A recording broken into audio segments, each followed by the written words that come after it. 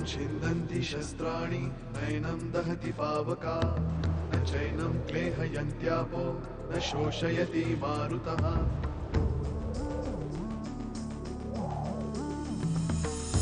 दिवसामा गुणरात्र धावते सकाळ संध्याकाळ सूत्रधार जो या साऱ्याचा का। काय तयाच्या मनात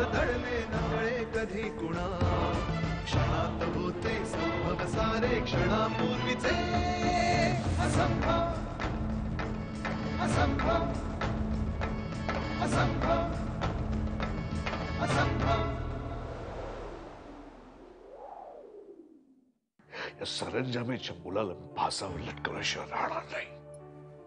सुलेखा राऊत नावाची मुलगी कुठे आहे? गायब आहे. ते माहीत आहे मला.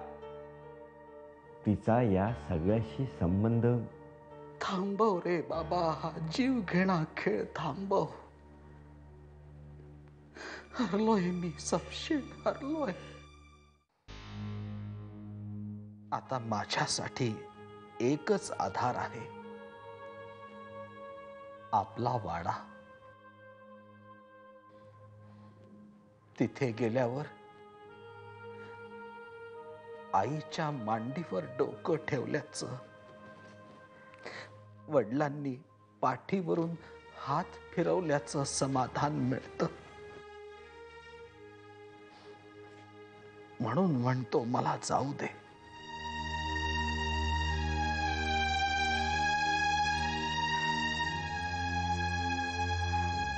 बाबा आता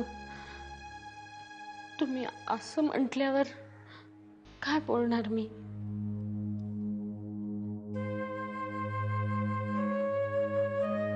वसुधा तुला वाटत असेल मी खूप स्वार्थी विचार करतोय.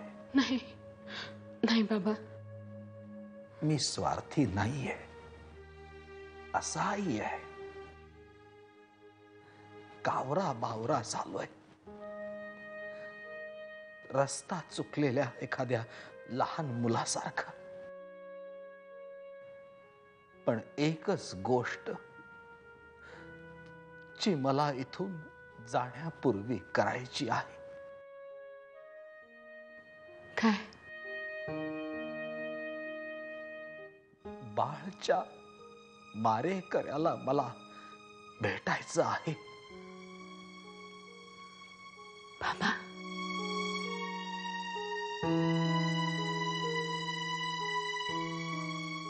ज्या जीवाला मी जन्म दिला. त्याचा नाश करण्याचा हक्क त्याला आहे. असं का वाटलं त्याला?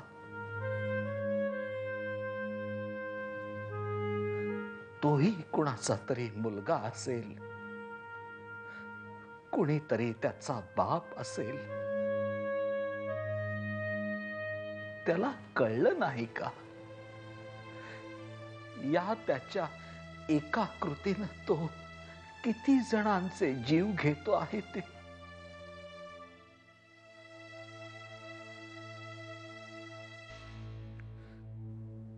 राक्षसाला हे कळलं असतं तर? राक्षस नाही. माणूसच आहे तो. एक चुकलेला माणूस. जेव्हा आपण दुसऱ्याची हिंसा करतो तेव्हा सर्वप्रथम आपण आपल्या आत्म्याला मारत असतो. जो खूप शुद्ध कोमल निर्मळ असतो तो आत्मा। आता या कृतीनंतर त्या उद्ध्वस्त फाटक्या आत्म्याला घेऊन जगणाऱ्या त्या मुलाला मला एकदा भेटायचं आहे. वसईला जाण्यापूर्वी हे कार्य मला करायचं आहे.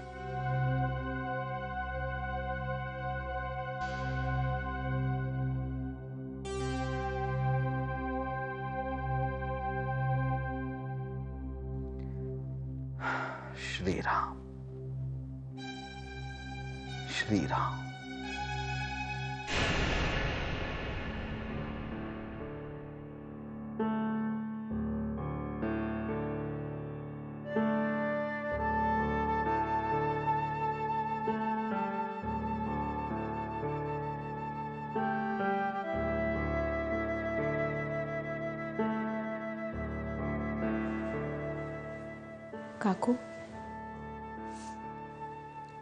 काकू दोन घास खाऊन घे ना.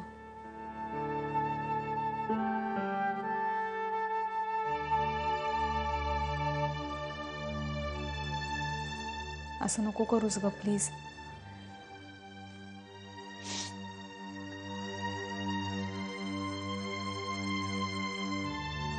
माझ्यावरचा राग गेला नाहीये का अजून?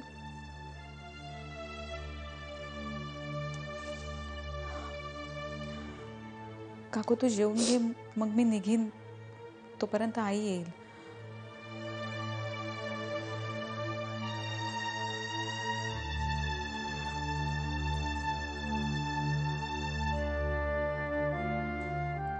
काकू ऐक माझं प्लीज.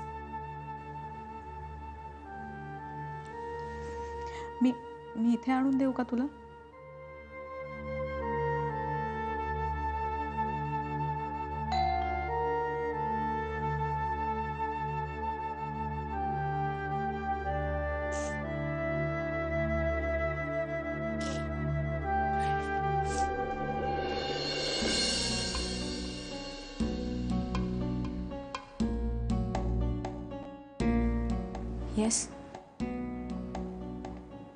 मला मिसेस शास्त्रींना भेटायचं आहे पूनम शास्त्री.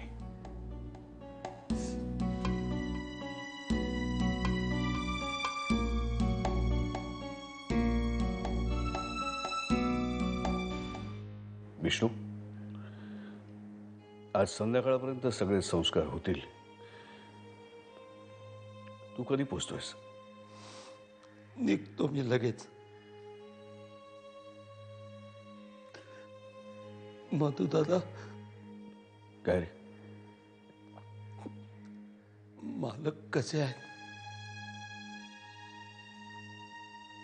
खचलेत खूप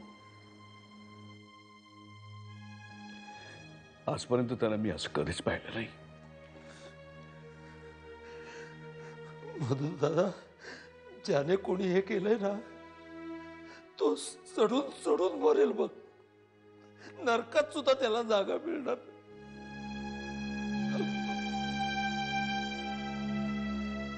ठीक आहे तू पोच लवकर. हो. बंधू दादा मालक परत वाड्यावर येणार आहेत की? काही कल्पना नाही मला आता. मला असं वाटतं की सगळे दिवस पूर्ण झाले की मगच ते येतील तिकडे मी निघतो. इथलं सगळं आवडतो आणि निघतो ठीक आहे ठेव.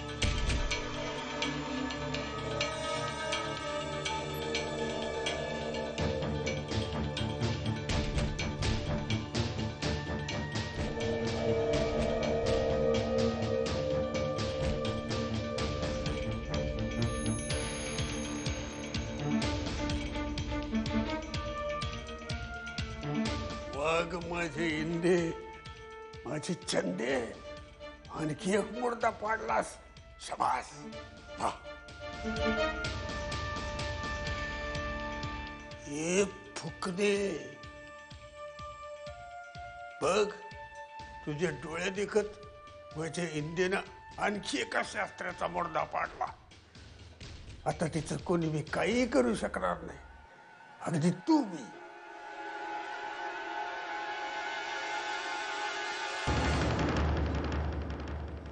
काय बडबडताय काय? कुठं काय? काय नाही. आता फोटोकडे बघून म्हणालात ना तू बी नाही म्हणून. नाही ते वहिनी साहेबांना सांगत होतो. काय होणार शास्त्री कुटुंबाचं? आता हे बाळ्या. अरे गोरापान बाळ्या माझा गुजरोना बाळ्या. तो मी खपला. चला मला मुंबईला जायचंय त्याच्या तो देवा घरी गेला. जाऊ द्या काय करायचं? आपल्या हातात काय आहे? तुम्ही चहा चपाती खाऊन घ्या मला जाऊ दे चला. होय. या.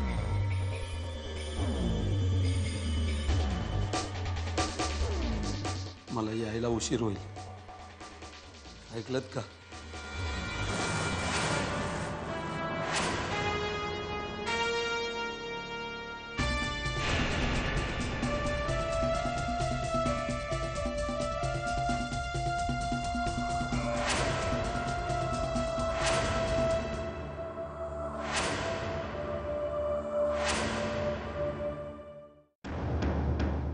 Shastri I know it's going to be difficult for you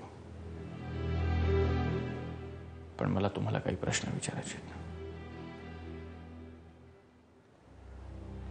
बोला. तुमची बहीण सुलेखा कुठे आहे?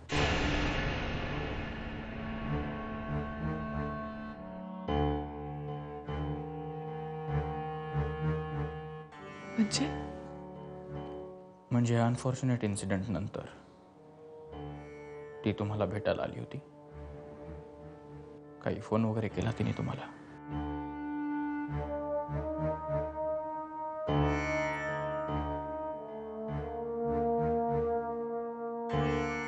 मला माहितीच नाहीये की तिला हे कळलंय की नाही.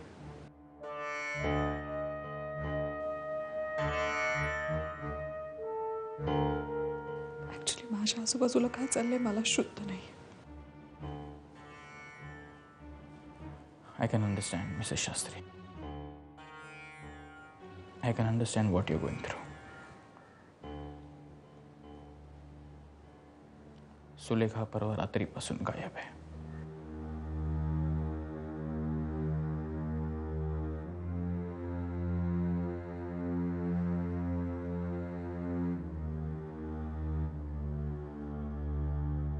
तिचं घर लॉक्ड आहे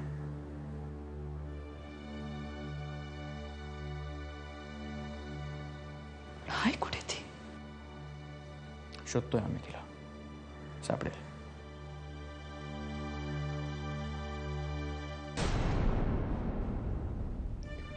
आधी कोणी का नाही सांगितलं मला हे? मिसेस शास्त्री मी म्हटलं ना आम्ही शोधतोय तिला पण त्या दरम्यान तुम्हाला तिचा काही फ़ोन वगैरे आला. हे काय चाललं इन्स्पेक्टर? एक माणूस माझ्या नवऱ्याचा जीव घेतो. आता सुलेखा मिसिंग. आहे कोणी सांगेल का मला? हे काय चाललंय?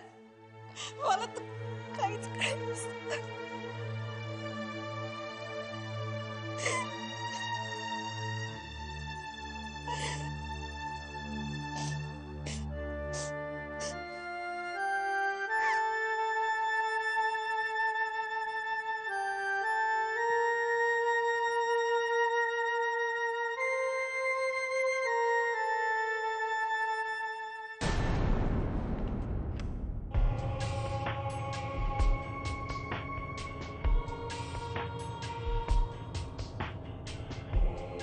विमान.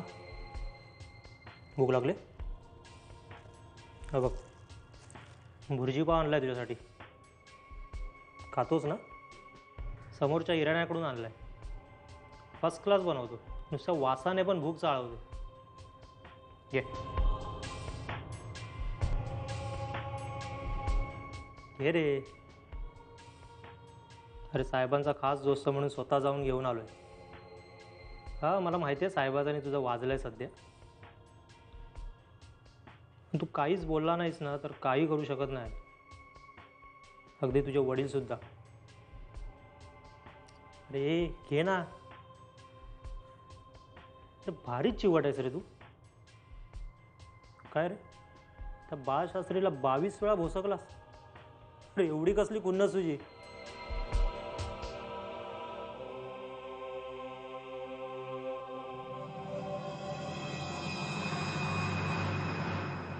रागवलास चल, रागात पटापट सांगून टाक. का मारलंस बाळशास्त्रीला हे बघ, तू काहीतरी बोललास ना, तर साहेब तुझी मदत करू शकतील.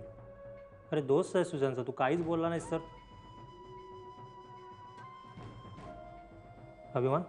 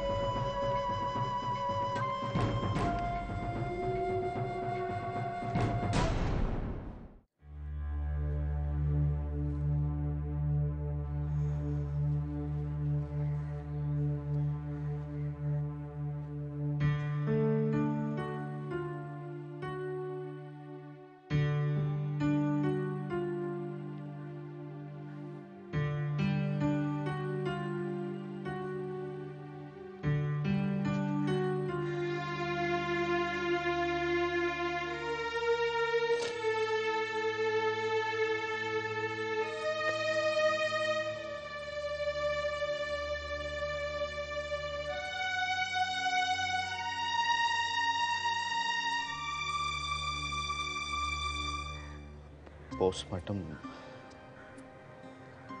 आज दुपारपर्यंत होईल आणि बाळकाकाची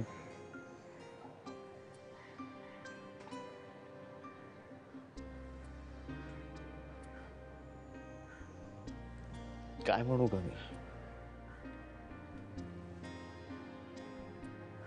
बाळकाकाची बॉडी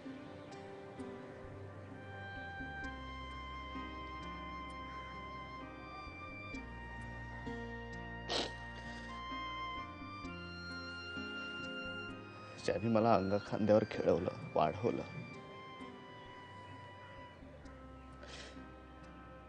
बाप आपल्या मुलाला पोट धरून चालायला शिकवतो.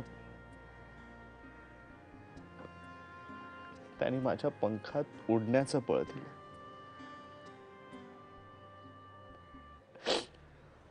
आज मी जो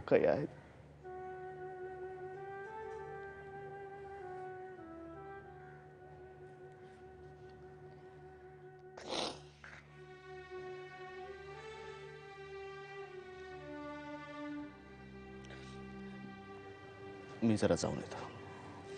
आता कुठे जात आहे जरा चक्कर मारून येतो. एवढ्या उन्हात?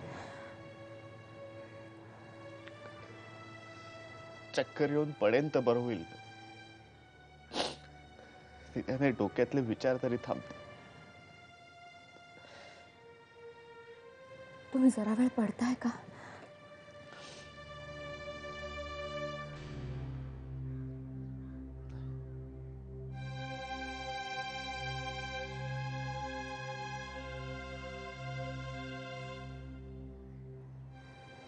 बाबा म्हणाले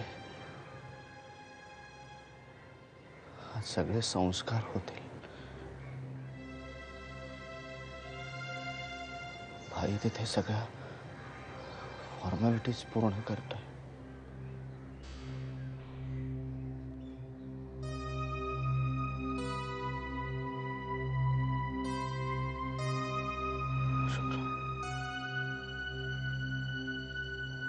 डोळे मिटले की डोळ्यासमोर फक्त तेच येत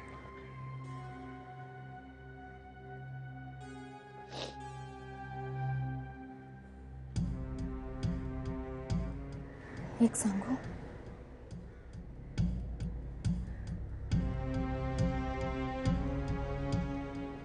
मला ते आकडे दिसायचे. तीन सहा नऊ. मला असं वाटतंय की त्यांचा संबंध या घटनेशी होता. कारण आता परवापासून मला ते आकडे